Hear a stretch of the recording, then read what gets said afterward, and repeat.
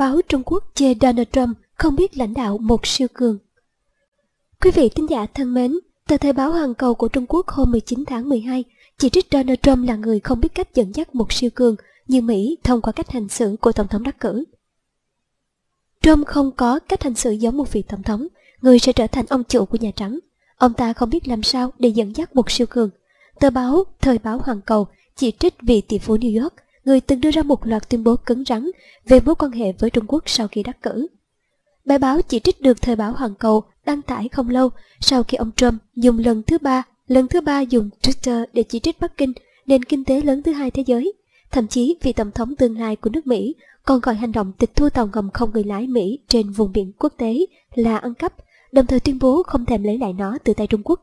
Trước đó, ông Trump gây sóng gió khi có cuộc điện đàm với nhà lãnh đạo Đài Loan Thái Anh Văn Trước những tuyên bố trên mạng xã hội của vị tỷ phú New York, tờ Thời báo Hoàn Cầu lớn tiếng đe dọa nếu sau khi nhậm chức ông Trump vẫn hành xử với Trung Quốc theo cách đã và đang diễn ra, Trung Quốc sẽ không thể kiềm chế. Chính phủ Trung Quốc nên chuẩn bị cho những biện pháp đáp trả cứng rắn. Thậm chí biên tập viên Hu Xijin của tờ báo này còn nhấn mạnh Trung Quốc cần dạy cho ông Trump một bài học để Tổng thống tương lai của nước Mỹ học được cách tôn trọng Trung Quốc sau khi ông ta nhậm chức. Trong ấn bản tiếng nước ngoài, Tờ Thời báo Hằng Cầu cũng nhắc nhở Trung Quốc không nên sợ hãi trước những hành động khiêu khích của Trump. Quý vị thính giả thân mến, không một lần trong chiến dịch tranh cử, ông Trump đề cập tới từ Đài Loan. Tuy nhiên, ngay sau khi giành chiến thắng, vị tỷ phú New York có cuộc điện đàm với nhà lãnh đạo đảo Đài Loan, điều mà chưa từng tổng thống hay tổng thống đắc cử nào của Mỹ thực hiện trong nhiều thập kỷ qua. Cuộc gọi và những tuyên bố của ông Trump trên Twitter được coi là mối đe dọa với chính sách một Trung Quốc mà Bắc Kinh luôn khẳng định. Sự việc không dừng lại ở đó, Cuối tuần trước, Trung Quốc đột ngột tịch thu một tàu lặn của Mỹ trên Biển Đông. Ngày 18 tháng 12, Trung Quốc tuyên bố trả tàu lặn, nhưng ông Trump tuyên bố không thèm nhận lại. Tổng thống đắc cử cáo buộc Hải quân Trung Quốc đánh cắp tàu Mỹ, trong khi Bắc Kinh cáo buộc ông Trump thổi bùng sự cố này lên. Nhưng căng thẳng giữa Mỹ và Trung Quốc làm dấy lên một nguy cơ một cuộc chiến tranh lạnh mới, khi mà Mỹ có thể có vị thế kém hơn nhiều so với cuộc chiến tranh lạnh trước đó. Trong quá khứ, việc Mỹ và Trung Quốc bình thường hóa quan hệ là đòn đánh mạnh vào Liên Xô. Tuy nhiên, với những gì đang diễn ra, dường như Mỹ đang đẩy Nga và Trung Quốc tới gần nhau hơn. Những tuyên bố cứng rắn của ông Trump về Trung Quốc sẽ phát huy gấp đôi hiệu quả thông qua hành động của Tổng thống Nga Vladimir Putin khi đưa bàn tay về phía Trung Quốc. Trong khi đó, Nga đang bị cáo buộc can thiệp vào cuộc bầu cử Mỹ, giúp cho ông Trump giành chiến thắng trước đối thủ sừng sỏ Hillary Clinton – Trước đó, mối quan hệ Moscow-Washington rơi xuống mức tồi tệ nhất kể từ chiến tranh lạnh sau những bất đồng quan điểm về tình hình Ukraine.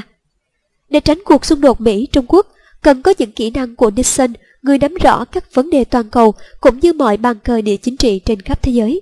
Trong khi đó, ông Trump là một tân chính trị gia, dù ở tuổi 70, người cũng chẳng mấy mặn mà trong việc bồi đắp những kiến thức bị hỏng. Thậm chí vị tỷ phú New York còn đòi hủy các cuộc giao ban tình báo hàng ngày sau khi nhậm chức vì cho rằng chúng vô dụng. Nhiều người cho rằng ông Trump sẽ bỏ lỡ các vấn đề nhạy cảm vì quyết định này.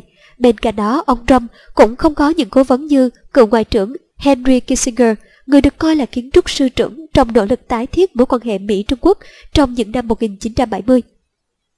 Trung tướng về hưu Michael Flynn người sẽ trở thành cố vấn an ninh quốc gia của ông Trump tin rằng Trung Quốc nằm trong liên minh với lực lượng tự xưng nhà nước Hồi giáo IS cũng như các nhóm khủng bố cực đoan khác nhằm đánh bại nước Mỹ.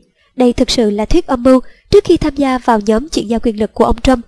Tướng Flynn tin rằng Nga là một phần của trục chống Mỹ. Ngược lại, Rex Tillerson, ứng viên hàng đầu cho chức ngoại trưởng, là người bạn cũ của nước Nga và từng được Tổng thống Putin trao tặng huân chương hữu nghị năm 2013.